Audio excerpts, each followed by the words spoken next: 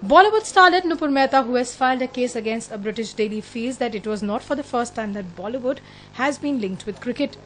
Speaking exclusively to NNI Sports, the little-known Bollywood starlet believes that controversies cannot build her career, but she has unwillingly been dragged into it all the time.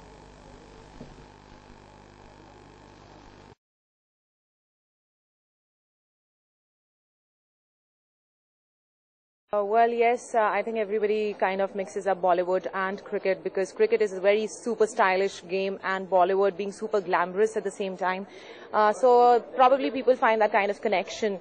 And um, both uh, the industries are like youth icons of uh, the country of the world. So probably because of that. Now, this time I have been targeted. I don't know why my name has been dragged into it.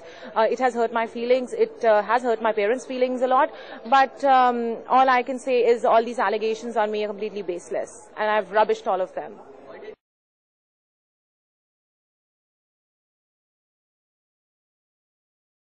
Uh, because um, see, it's just been about two two and a half weeks um, since the 11th of March, uh, since uh, they had taken out the article on me, and uh, because it's a very important case, it's a very important lawsuit. So certain um, uh, certain proceedings had to be taken uh, care of, certain things had to be kept in mind. So I think we just could not rush it up and file a case in two days. it took about two weeks to come to a decision.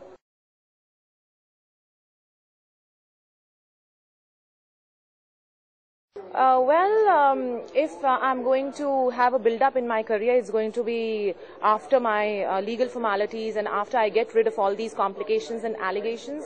And um, it, this is not the only uh, part which will build up my career. I also need to be talented. I also need to be beautiful. I also need to suit uh, the character, the role, the, the place where I, I am. So it's not just the controversy that gets you work, but also your talent.